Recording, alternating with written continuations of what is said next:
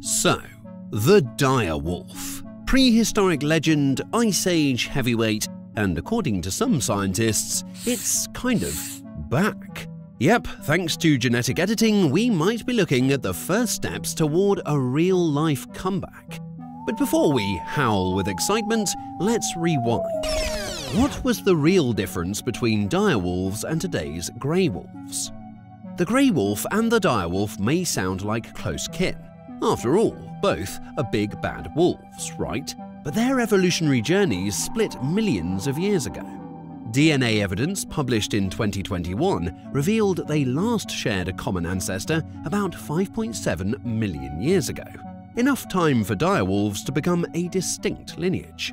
While their bones look superficially similar, direwolves were so different genetically that even when they lived alongside grey wolves and coyotes in North America, they never interbred. Grey wolves, along with coyotes and jackals, evolved over in Eurasia and only arrived in the Americas relatively late, long after direwolves had established their turf.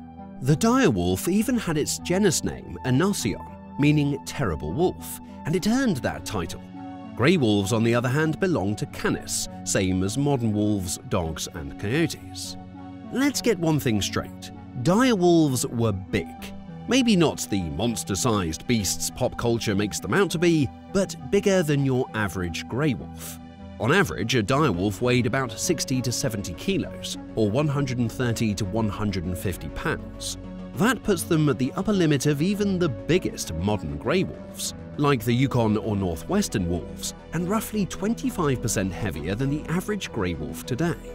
Dire wolves had shorter, thicker legs, smaller feet, and a more compact, muscular body. Their bones were heavier, their frame stockier. Picture a wolf with the build of a heavyweight wrestler, wide chest, thick limbs, low to the ground, built for strength, not speed. You're not chasing anything across the tundra with that body, but if something needed to be wrestled to the ground, well, that was their speciality. Grey wolves, by comparison, are athletes. A big male might weigh 45 to 50 kilos, around 100 to 110 pounds, and some exceptional individuals can hit direwolf sizes. But they're taller, longer-legged, and lean. Their bodies are made for distance and stamina, not brute force. They can run for miles, track prey for hours, and rely on endurance over impact. Direwolves had larger, wider heads, with massive jaws and reinforced cheekbones, those zygomatic arches that anchor the jaw muscles. Their snouts were broader, their teeth thicker, and their skulls built to handle serious pressure. Estimates put their bite force at over 1,300 newtons at the canines, the strongest of any known canine. That's bone-breaking power, not just meat slicing. Their canine teeth were also more durable, able to withstand more bending without snapping. Some researchers say their dental strength was close to hyena levels, and the fossil record backs it up. Their teeth show heavy wear and breakage, signs that direwolves often chewed straight through bone to get to the good stuff. Grey wolves are still impressive, their bite is powerful enough to bring down moose and break bones, but their teeth are sharper, narrower, and more adapted for slicing rather than smashing. They've got the tools for versatility and not raw force. Direwolves evolved in a world of giants. North America during the Pleistocene was full of megafauna bison, ancient horses, camels, ground sloths, and even young mammoths. And direwolves thrived on that abundance. Fossils and bone chemistry confirm they were specialized big game hunters, focusing on animals weighing hundreds of kilos. They weren't picky about species, they just followed the biggest meat source around. But specialization comes with a risk. When the Ice Age ended and those massive herbivores started disappearing, the direwolf's main food source vanished too. Smaller prey like deer or rabbits just couldn't support a 150 pound predator that needed a lot of calories to survive. The buffet was gone, and direwolves couldn't pivot fast enough. Grey wolves, on the other hand, were, and still are, the ultimate generalists. They'll hunt anything deer, elk, moose, wild boar, beavers, rabbits, even fish or berries when needed. Their flexibility gave them a serious edge. They didn't rely on any single food source, which made them far more resilient when the environment changed. Back in the Ice Age, grey wolves probably hunted more megafauna too, but when that option disappeared, they adjusted, shifting to smaller prey, spreading to new habitats, and surviving where specialists like the direwolf couldn't. One of the biggest things wolves are known for, beyond their looks and howls, is their social structure. When it comes to both direwolves and grey wolves, this was a huge part of their success. They were pack hunters. For grey wolves, we know the playbook well. They live in tight-knit family groups, usually led by an alpha male and female who mate for life. The rest of the pack is mostly made up of their offspring and everyone has a role hunting, protecting territory, and raising pups. They communicate with body language, scent, and of course, howling. It's not just instinct. Grey wolves show signs of real social intelligence, strategy, and even emotional bonding. But what about dire wolves? They're long gone. No one's had the chance to follow a pack through the snow with a camera. So how do we know? First off, there was very little difference in size between male and female direwolves, what scientists call low sexual dimorphism. In modern animals, this often means the species lived in monogamous pairs, just like grey wolves do. So if an alpha male and alpha female were leading the pack, and the others were their pups or subordinates, you've got a pack structure that looks very familiar. Second, there's La Brea, Hundreds of direwolves have been pulled from the tar, likely drawn to trapped prey. A lone predator might stay away, but a pack, that's a calculated risk. They hunted, fed, and likely defended kills as a group, even against predators like Smilodon or the American lion. That kind of behavior tells us direwolves weren't loners. They were social predators, relying on cooperation not just to hunt, but to compete. So if we imagine a direwolf pack on the Ice Age plains, it probably wouldn't look too different from a grey wolf pack today.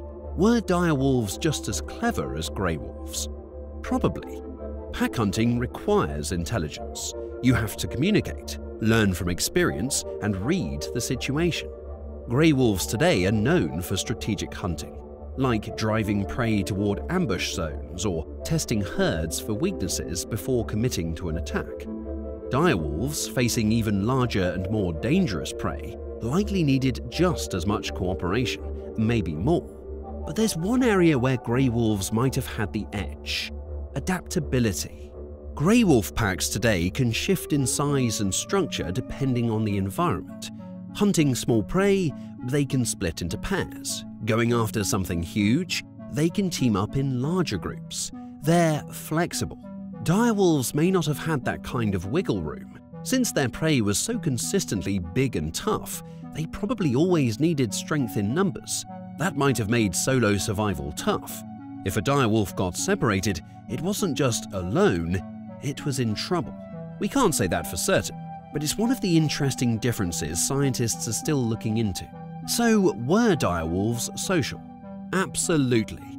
Probably loyal, probably vocal, probably tight-knit, just like grey wolves. The difference is that grey wolves were built to adjust. Dire wolves were built to dominate in one very specific way, and when that world changed, the rigidity may have cost them. By the end of the Ice Age, around 12,000 years ago, the world had changed fast, and not in the direwolf's favour. We've already seen how these wolves were tied to big prey, and when that prey disappeared, things got harder. But it wasn't just about food. Multiple pressures were hitting all at once, and direwolves just couldn't keep up. For one, there was new competition. As the climate warmed and ecosystems shifted, grey wolves and coyotes began spreading into areas where direwolves had ruled. These smaller, more adaptable canids were better suited for the changing world. They could hunt small game, scavenge, travel farther, and even live in smaller groups. Then there's the genetic isolation factor. Grey wolves and coyotes could interbreed with each other, and even with early domestic dogs, sharing useful traits and possibly improving disease resistance. Dire wolves were too different genetically. They couldn't hybridize. That may have made them more vulnerable to new pathogens, especially as humans and their animals spread through the continent. And yes, humans were part of the equation too. Early hunters entered the Americas around the same time the megafauna declined. Whether directly or indirectly, they likely helped speed up the collapse of the big herbivore populations direwolves depended on. Just when you think the direwolf story ended 10,000 years ago, science throws a curveball. Recently, Colossal Biosciences announced the creation of a functional direwolf, not through cloning, but by editing 20 specific genes in modern grey wolves based on DNA fragments recovered from fossils, including a 13,000 year old tooth. These genes were linked to traits like growth, skull shape, coat texture, and body size. The result? Three pups born in late 2024 named Romulus, Remus, and Khaleesi, showing early signs of direwolf-like features such as chunkier builds, broader heads, and thicker fur. They're now being raised in a private reserve under close monitoring, with input from indigenous groups to ensure cultural and ethical considerations are respected. While the project has generated excitement, many scientists caution that this isn't true de-extinction, at least not yet. Editing 20 genes touches only a fraction of what made dire wolves genetically distinct, and some paleontologists point out that the pups remain over 99% grey wolf.